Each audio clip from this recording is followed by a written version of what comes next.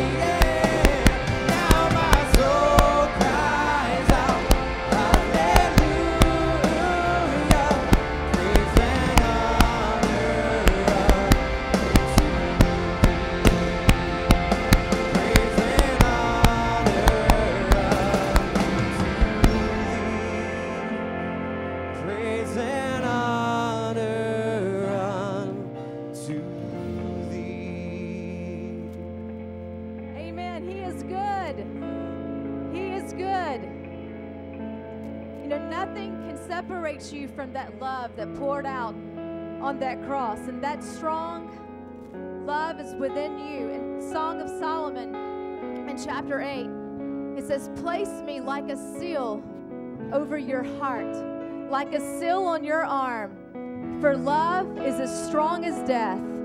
Its jealousy unyielding as the grave. It burns like a blazing fire, like a mighty flame, and many waters cannot quench this love, and rivers cannot sweep it away.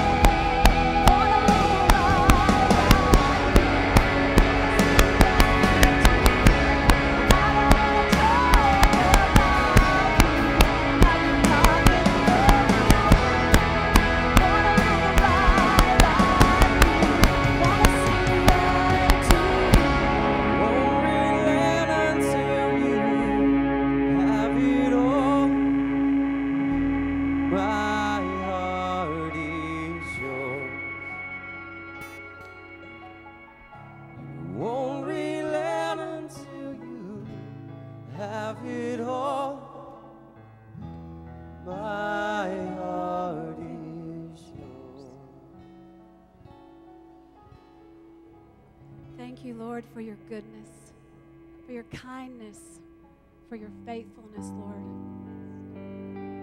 Not just then, not just back in the good old days, or not just yesterday, but right now. Right now, you're good and you are faithful, and your word is true. And Lord, we, we love you so much, Lord. We are so grateful for your presence. Lord, for your goodness, your faithfulness. That's forever.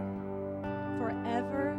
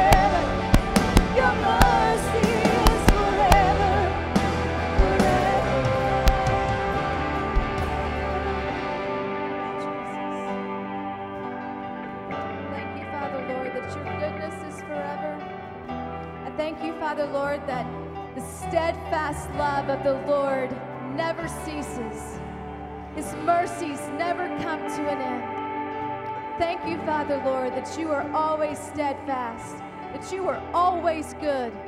You are always good. And we can, Lord, be thankful, not in just some circumstances, but in all circumstances, Father. We worship you, Father. This morning is the sacrament of healing. And if you are needing healing in your body, in your spirit, in your um, whatever you're needing this morning, we invite you right now to come down for prayer.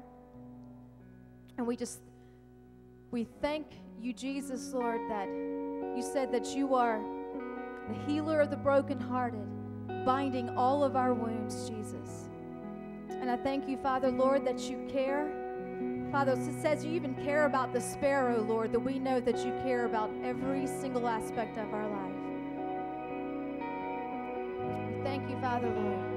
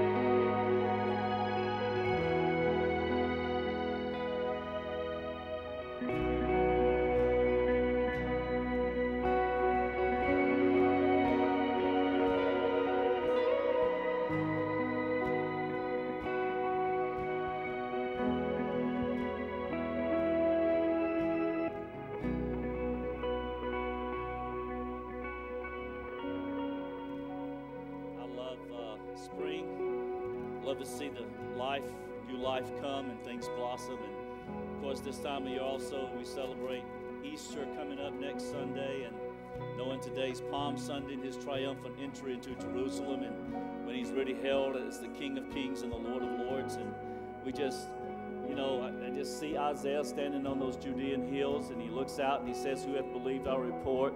And to whom's the arm of the Lord revealed? Surely he has borne our sorrows, he's carried our griefs. He was wounded for our transgressions. Chastisement of our peace was upon him, and by his stripes we are healed. And as we celebrate today, and we celebrate next Sunday, it's all about him. And he is good. He is so, so good.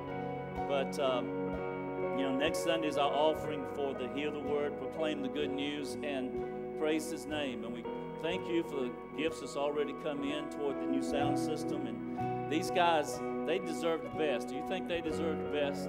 They deserve the best because they are the best. And um, we have been so blessed over the years with awesome, awesome talent. But uh, they don't wear out, but the stuff they sing through wears out. And uh, believe it or not, you just wouldn't know how broken some of this stuff is. And do you think they sound good now? Wow. Wait till this new sound system goes in. It is they're gonna sound better. I'm gonna sound better. We're all just gonna sound better because it's all about sound in here. This is what we do.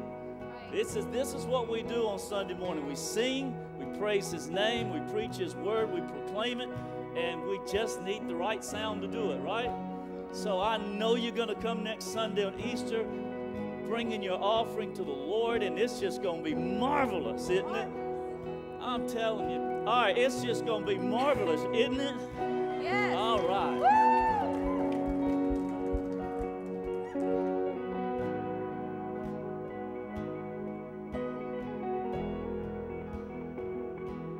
Singing with me. What?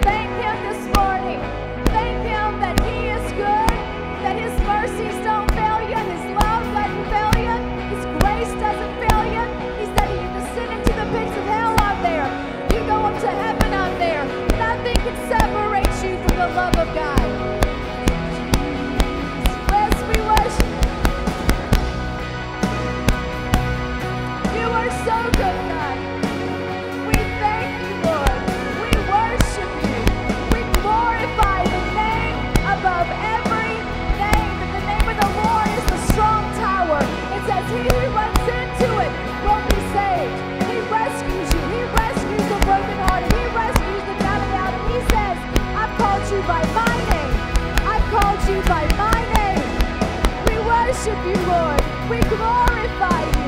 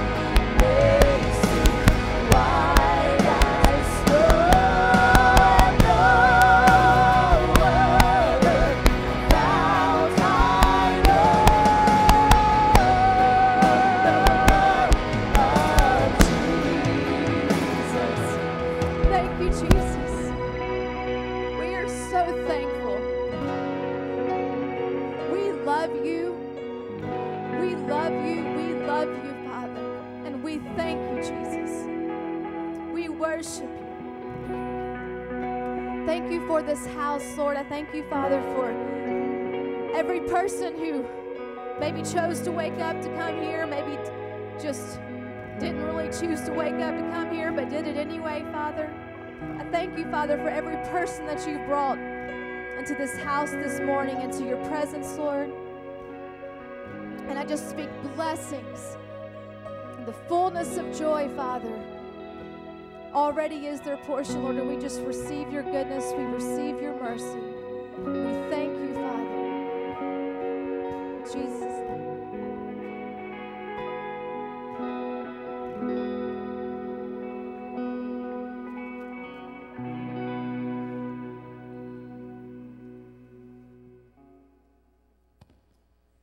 Uh, as Pastor Bjorn's coming up, I want to encourage you. That, that's one of the things that is in me to do is encourage you. And there was a song a couple songs ago Jennifer sang so beautifully. And the, the prayer in there was, Come, be a consuming fire in me till we are one. And I just want to encourage you that that prayer has already been answered. You don't have to wait on that prayer because the God of the universe dwells in you.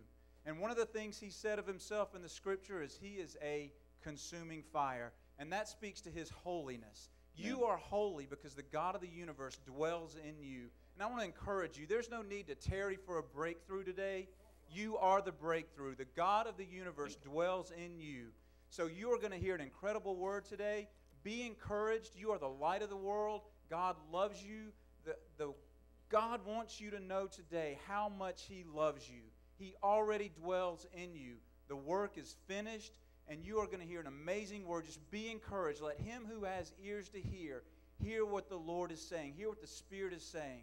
So be encouraged today. You are one with God, you are of God. Jesus loves you. Amen.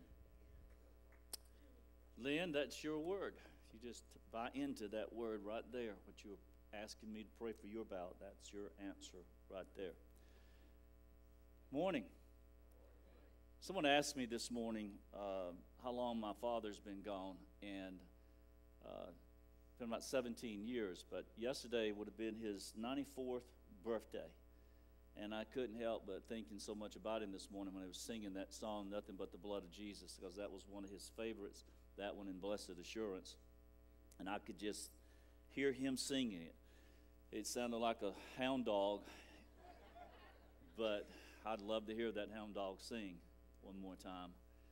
But uh, he loved, he built his life on the fact that Christ's crucifixion.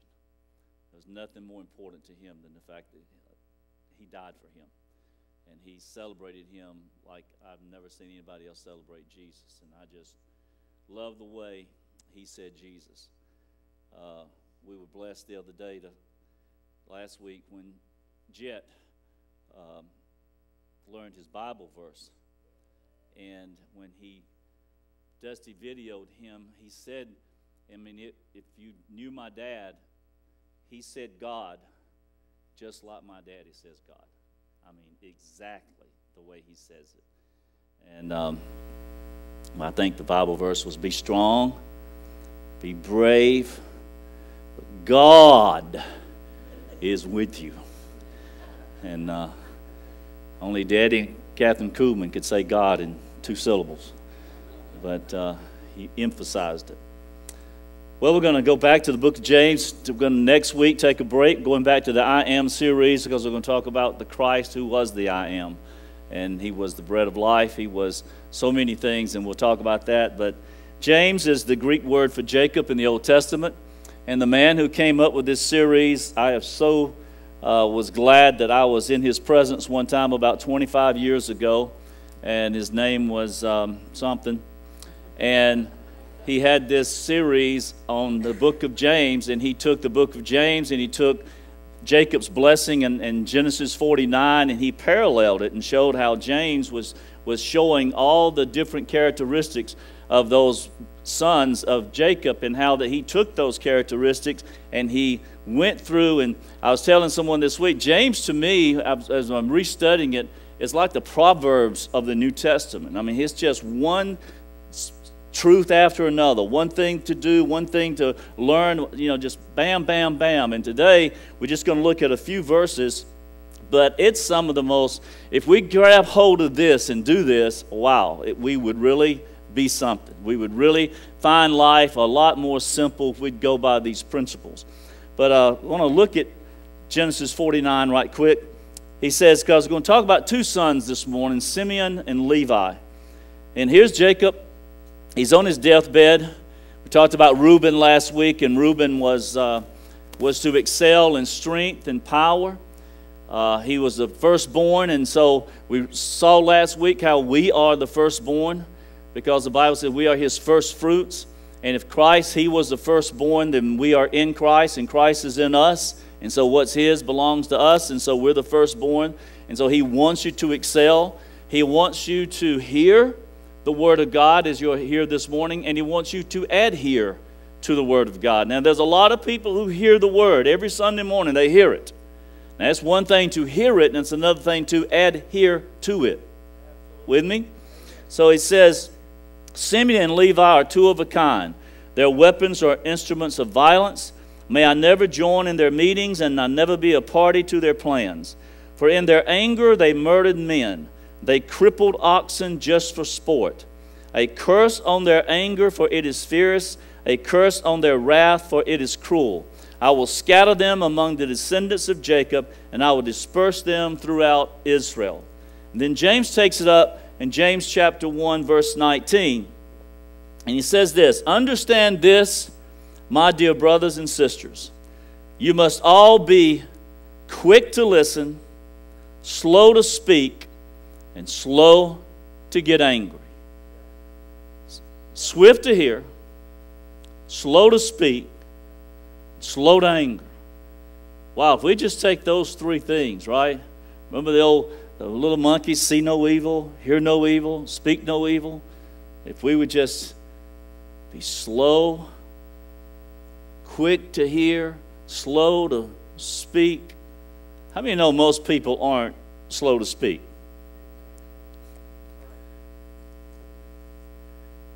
So he says, human anger does not produce the righteousness God desires. So get rid of all the filth and evil in your lives and humbly accept the Word of God planted in your hearts, for it has the power to save your souls. It has the power to save your souls.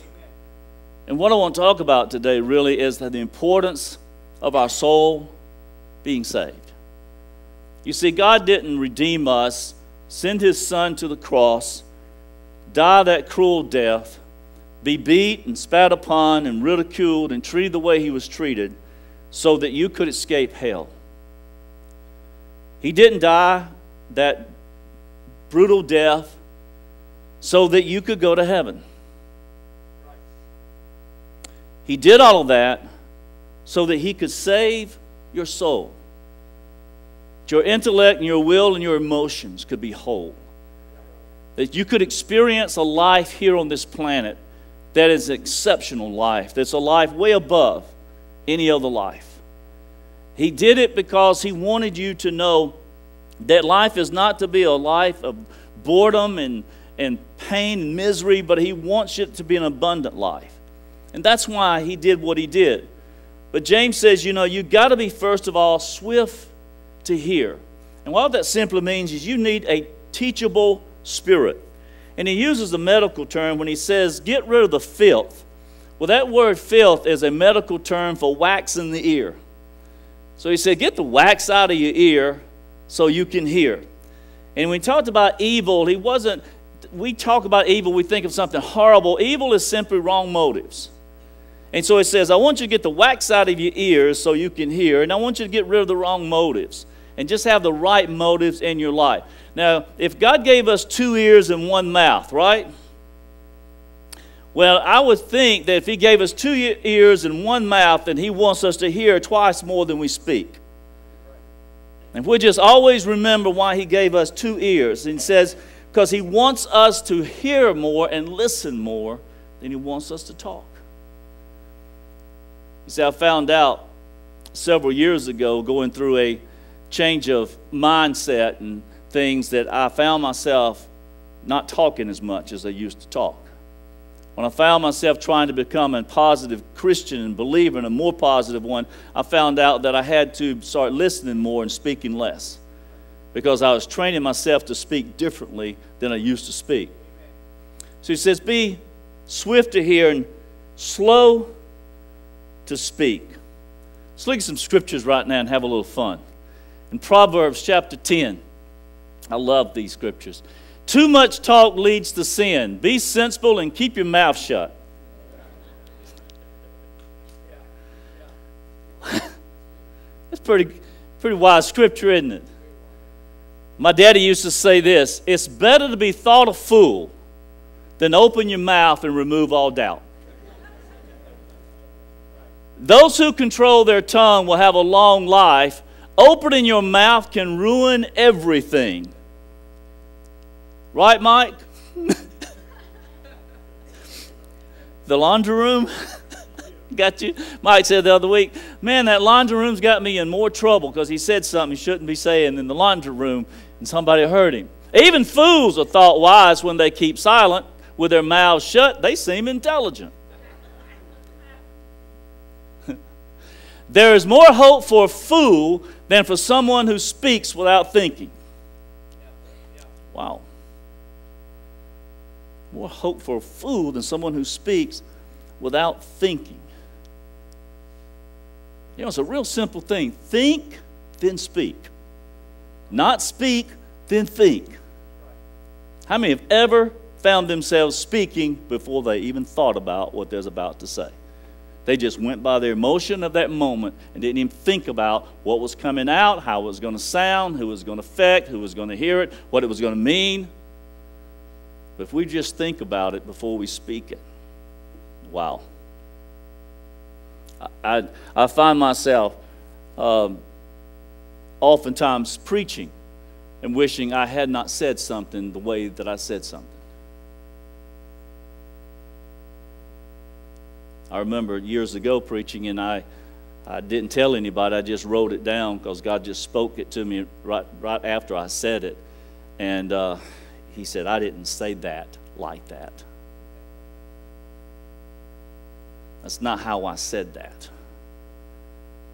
You said it in a different way than I really said it. So I found out when I started reading Jesus' words that I wanted to get more than just the words off the paper. I wanted to get the spirit that was said behind the words. Because it's just, it's more to be said about the spirit of something than what was said. That's why text can get a little bit wacky. Emails can get a little bit wacky because you can get a text and you don't know how they said it. Have you ever read a text and you, and you read it one way and they said it, they texted another way? I read it and thought, how do they mean that? What do you mean by that? And so, because you don't get the spirit of it. And so we, we have to know there's more to, to life than just saying what we say. Let's say it right. Let's say it right. Slow to wrath What does that mean, be slow to wrath? Have an open spirit. Now, here's these are some things I, I jotted down I believe will help you be slow to wrath. How many want to be slow to wrath? All right, do the opposite of these things. Angry people are strongly opinionated people. Strongly opinionated. I got an opinion. I got an opinion about that. Let me tell you what I think about that. They're dogmatic. My way or the highway. I know it. I've got all the truth. I know what I'm talking about. Intolerant of other people's views. It's okay for someone to think differently than you think. It's okay for them to have another view. And vindictive or bitter people. We'll be swift to hear, we'll be slow to speak, and slow to wrath. Our lives are going to be a whole lot better. That's why he said, Fathers, provoke not your children to wrath. Rather, bring them up in the nurture and the admonition of the Lord. Now, what I like about being a grandparent is because we're grander than all other parents, and we're wiser than all other parents. You're a parent, and that's great, but you're not a grandparent, then you're not wise yet. And so you need to listen to the grandparents, not parents, but grandparents, because they'll tell you how to raise your kid. And they'll tell you that if you, got, if you talk to an adult the way you talk to your child, that adult would hit you upside the head. You provoke your children to wrath sometimes a way that you yell at them.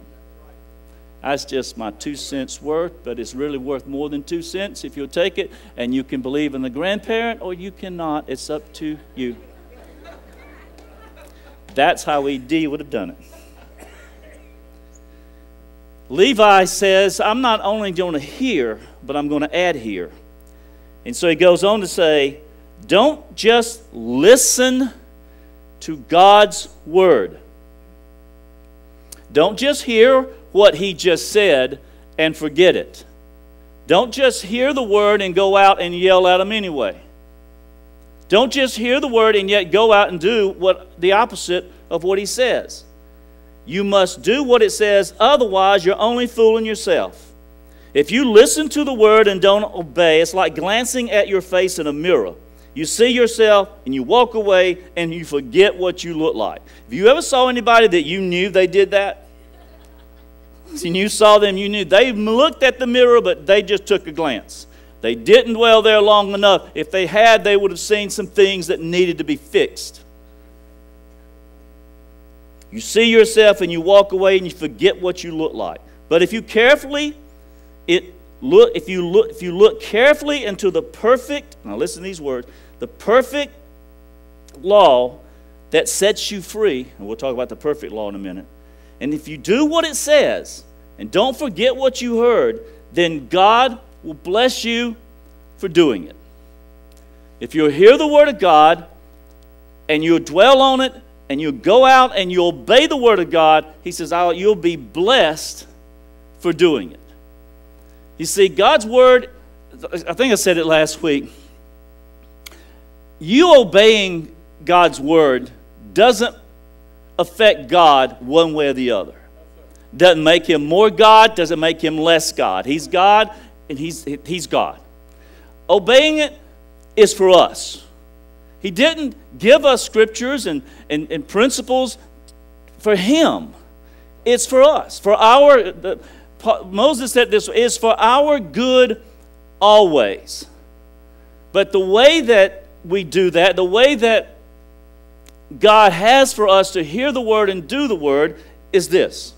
Now, you got to, want you to listen real closely what I'm about to say, because either you're going to uh, fully understand this and get this, and it's going to so change your life, or you're just going to forget it. And I don't want you to. And I want you to be able to know why I believe what I believe with every fiber of my being, why I believe it And why, why I adhere to it more so now than I've ever done in my life is because it's what God's Word says. Now, here is how God in the Scriptures has said that we will hear the Word of God and we'll go and obey the Word of God. Said that God gave apostles and prophets and pastors and teachers for the perfecting of the saints, for the equipping of them, that we all may come to the unity of the faith, to the fullness of the stature of Christ. That we be no more children tossed to and fro by every wind of doctrine, but we may grow up into Him with every ligament and every part of the body working together, edifying of itself in love. He even talked about speaking the truth in love. And so he says he gave these callings, these different avenues, if you will, of preaching and teaching the Word of God so that we could be equipped. Now, he told Timothy, he said, Timothy, I want you to preach the Word. I want you to be instant in season and out of season. And then he said these words reprove, rebuke, exhort with all long suffering. For the time will come when they will not endure sound doctrine, but shall heap to themselves teachers having itching ears. I'm going to qualify that in a moment. He told him another passage of Scripture. He says, Timothy, from a child, you've known the Scriptures, which are able to make one wise. For all Scriptures given by inspiration of God, and is profitable for doctrine, for reproof, for instruction in righteousness, that the man of God may be perfect, thoroughly furnished unto all good works. So, this is how Paul instructs young Timothy to help people be equipped. You see, when I preach the word or teach the word, or someone else preaches the word or teaches the word, or you're reading the word, the word in itself will bring the correction to an individual's life that it needs to be brought without me pointing fingers at you. My daddy used to say, Remember, if you're going to be a finger pointing preacher, that when you point that finger out there, you got four more pointing back at you. And I don't want to be a finger pointing preacher. I want my job, my calling, is not to tell you what you're doing wrong. My job is to tell you what we need to be doing right. It's not my job to tell you what you're doing wrong. It's my job to tell you what you need to be doing right. In Isaiah chapter 58, he, he tells Israel, he says, I want you to know about your fasting, that your fasting is not what it ought to be. Let me just look that up right quick. Your fasting is not the fast that I want you to have. He says, This is the fast that, you, that you're doing. He says, while you fast, you keep oppressing your workers. What good is fasting when you keep fighting and quarreling? This kind of fasting will never get you anywhere with me. You humble yourselves by going through motions of penance, bowing your heads like reeds bending in the wind. You dress in burlap, cover yourselves with ashes. Is this what you call fasting? Do you really think that will please the Lord? Listen, no. This is the kind of fasting I want. Free those who are wrongly imprisoned Lighten the burden of those who work for you. Let the oppressed go free. Remove the chains that bind people. Share the food with the hungry. Give shelter to the homeless. Give clothes to those who need them. And do not hide from relatives who want your help. Here they come. Oh, God. then your salvation will come like the dawn, and your wounds will quickly heal. Your godliness will lead you forward, and the glory of the Lord will protect you from behind. Then, when you call, the Lord will answer, Yes, I am here. I will quickly reply. I will not be apologetic. I will not apologize anymore for preaching a message of grace and of mercy and telling you how much God loves you and telling you how that you can be everything that He wants you to be. I don't need to tell you what's wrong with you. You know what's wrong with you. I need to tell you what's right with you so that if you know what's right with you, then you can be right because you're only going to do and be what you believe that you are. Only.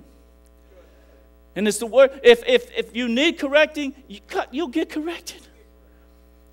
How many's got GPSs in the car? How many ever make the wrong turn? And I don't, you know, this lady, it don't matter where you are and what GPS you got, she talks the same way. And she'll say, recalculating, recalculating. Not one time has she ever said, You idiot! You stupid moron! No, she said, recalculating, recalculating. Just make this next turn. Make the next turn. Turn left. Thank you. Thank you for not yelling at me. Thank you for just being nice and kind. When we was in the sea years ago and the boat capsized and, and uh, the Coast Guard came and got us. Got in the boat. The Coast Guard didn't say one negative thing to me. Matter of fact, all he did was encourage. He, one thing he said was, Man, I tell you what, we came out about two miles, but when we got out two miles, we fell into another ocean. And he said, That's what happened, you guys. At two miles out, it felt fine, but two more, then as soon as you got past that two miles, man, you just dropped into another ocean. I'll never forget, he looked at me, he said, Now, we was coming up to the, close to the docks, and he said, Now, there's going to be cameras there, going to be news people there, and you don't have to talk to them. You don't have to talk to them. Oh, no, not Beard. oh, no, no. I look at cameras every day, every week. Cameras don't bother me. So I'm walking, the newsman comes and says, Can I talk to you, sir? Sure, you can talk to me. and they interview, and then they put it on TV, and I look like the biggest idiot, moron, fool now, he misquoted me. He didn't say what I said because they want you to look like an idiot. They even said these guys should never have been out there. But that Coast Guard is trained to do one thing save your life.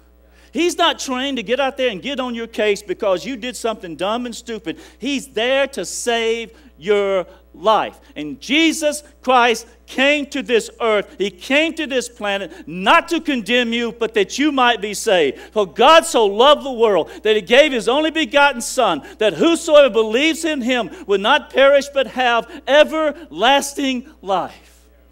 So he sent not his son into the world to condemn the world, but through him the world might be saved. Hallelujah. Oh, I don't, I need you to beat me up. Well, you're going to have to go somewhere else. That's not my job. It's not my job to beat you up. Well, we caught them right in adultery, Jesus. Caught this woman right in a, the act of adultery. Number one, what were you doing in them chambers to find them right in the act of adultery? You was out of place to start with. What are you doing there? We caught him right. Caught her, where's the man? Did was she by? How did she commit adultery by herself? Where's the man? Because they were men and they were prejudiced. And they weren't going to bring the man in. They're going to bring the woman in. Yep. And so Jesus looks at him and says, Okay, who's out without sin? Go ahead, pick a stone and throw it. Nobody could throw a stone because nobody was without sin. Jesus looked and they all began to walk away. And Jesus looked at her and said, Neither do I condemn thee, because the only person who had the right to pick a stone up was Christ, and he chose not to. He chose not to, because he was the only one without sin. Okay, dokie. Now, what is the law? What is the law?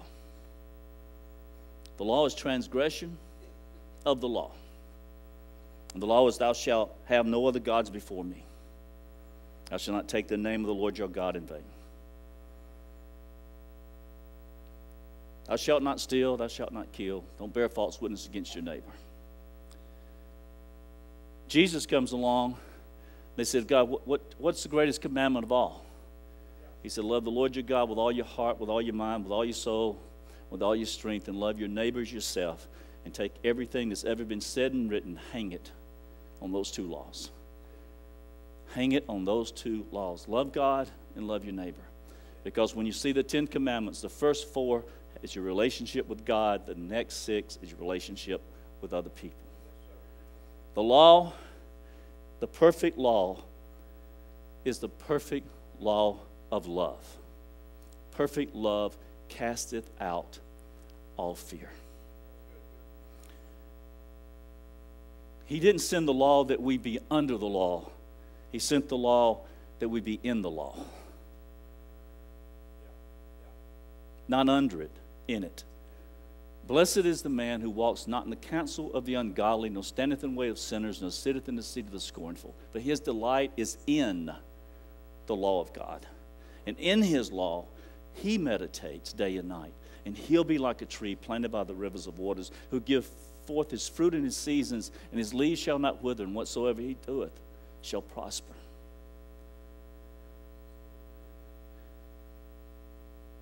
Christ in us, the hope of glory.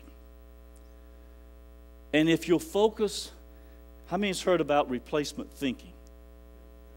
Well, let me give you a new phrase replacement behavior. Replace bad behavior with good behavior, and you'll be fine. You just got to replace it. And what the all the scripture, what it's all about, is that so we can focus on what is right and see what is good, because if we do, we'll do it. The Bible says the strength of sin is the law, and if you look at it long enough, you will you will you'll crumble like a cookie. You will.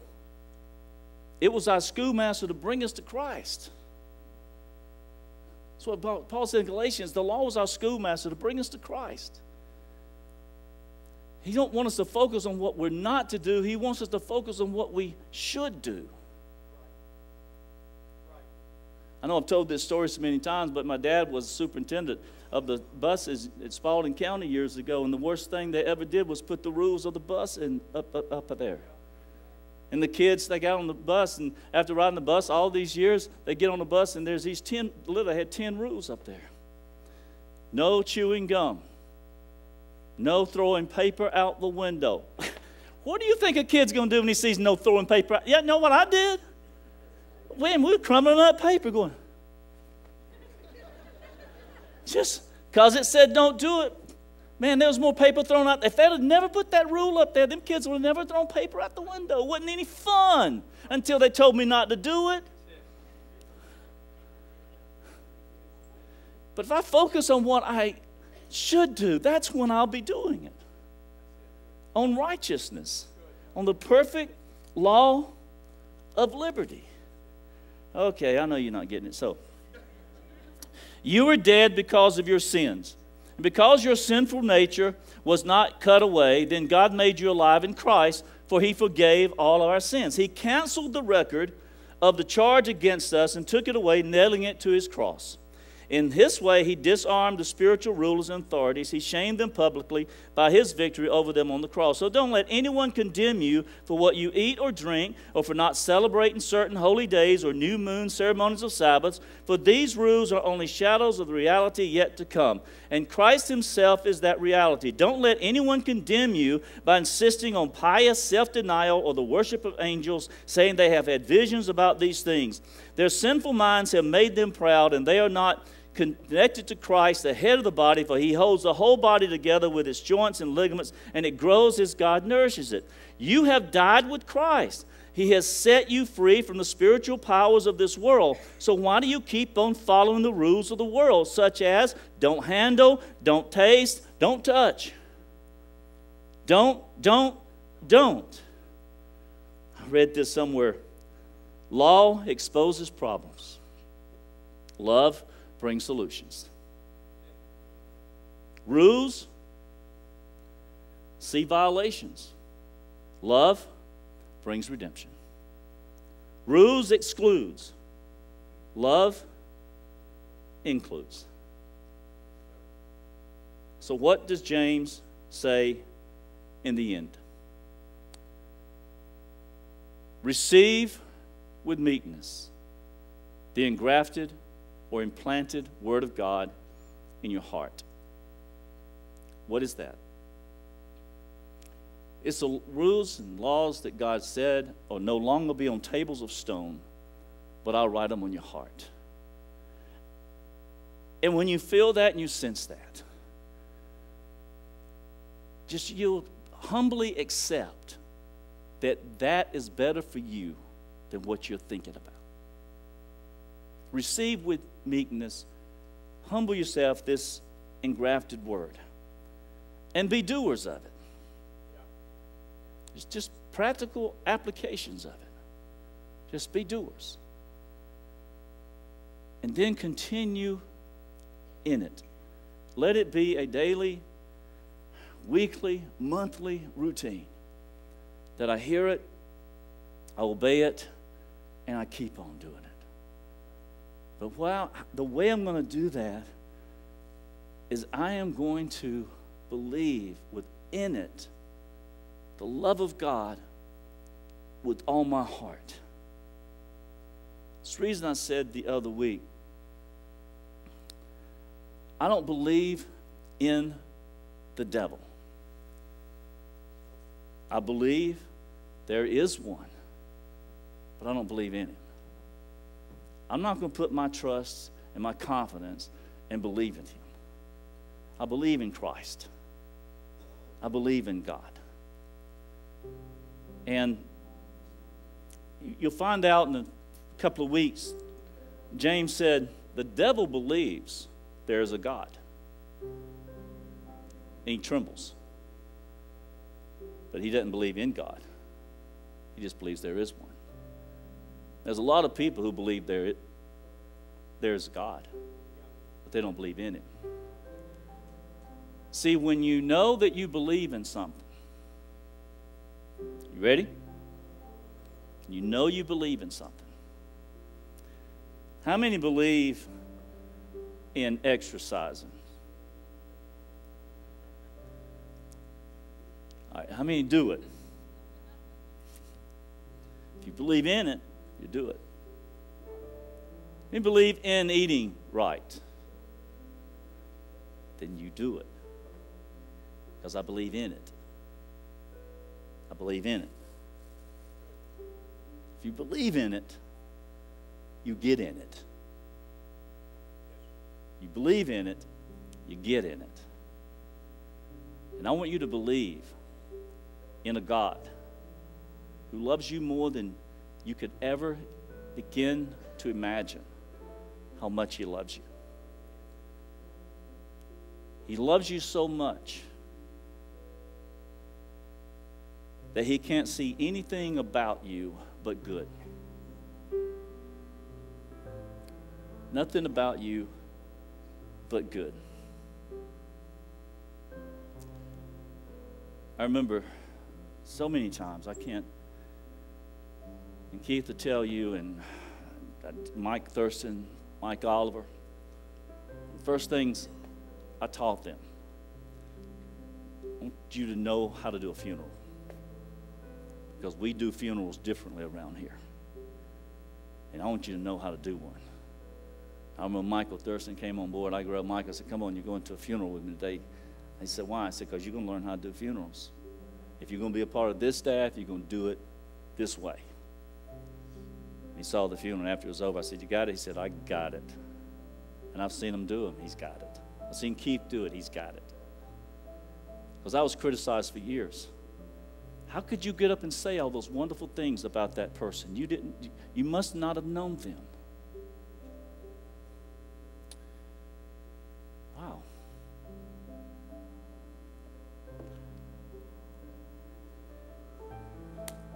I am not going to be an abusive pastor any more than I'm going to be an abusive parent.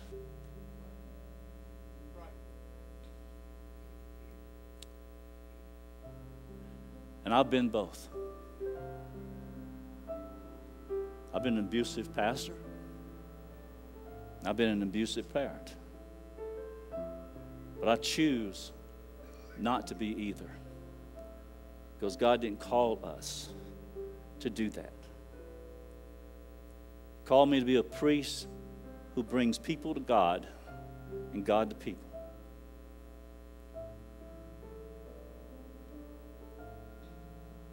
He said, Your thy word, Lord, is a lamp unto my feet, and it's a light unto my path. It's not a flashlight to shine in your face to condemn you, to harm you. It's a light to shine at your feet so you'll see where you're going and you'll go in the right direction.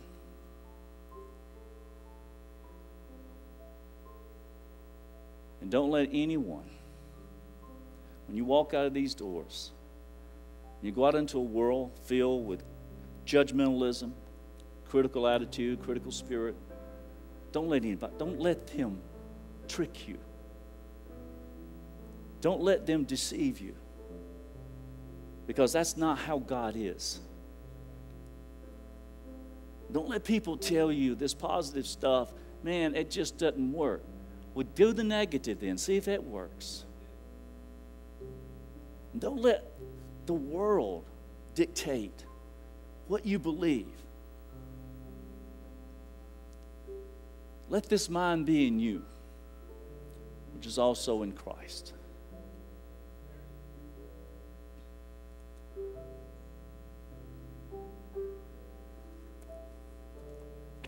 When Waco, Texas happened, the compound was there. I, today I wouldn't say it. I wish I hadn't said it then. But what I said happened, and I knew why it would happen. And I told Barbara, I said, that compound is going to go up in a flame of fire. And she said, Why? I said, Because this is a destructive theology, and destructive theology destroys. Amen. And he's got a destructive theology. And it wasn't but a few days after that, tanks barreled into that place and bloated up. Fire and smoke, killing innocent kids. Because of some man's destructive theology telling them what wasn't true. It cost lives. Destructive theology will always cost lives. And I'm not here to destroy you. I'm not here to take away from you. We're not here to tell you what you need to do or not to do. You know. We're just to do the truth. Love God with all your heart, your mind, your soul, your strength, and love your neighbor as yourself. Paul went on to say, Oh, no, no man nothing but to love him but to love Him.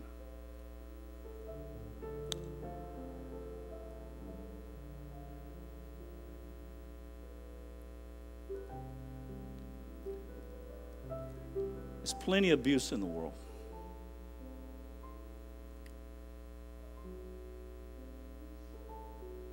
And there's not anything worse than abuse. Worship team's coming.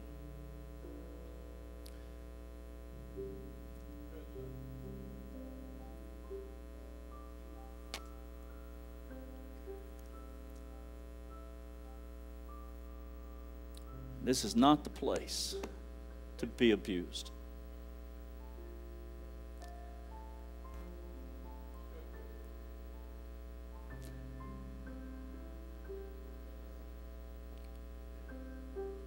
Asked God more than once over the years to forgive me for abusing his sheep.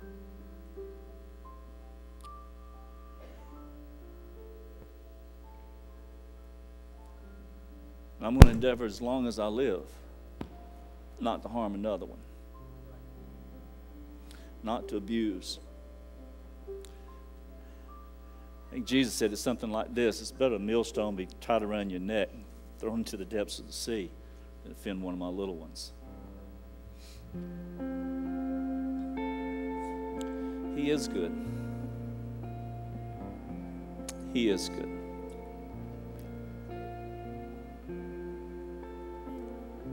And he's not angry anymore.